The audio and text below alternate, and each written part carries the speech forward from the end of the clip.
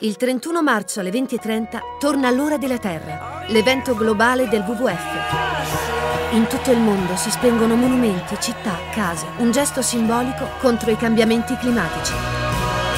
Cambia modo di pensare, cambia energia, cambia stile di vita. Prendi un impegno sulla strada della sostenibilità. Cambia tu e ispira al cambiamento che ti è vicino.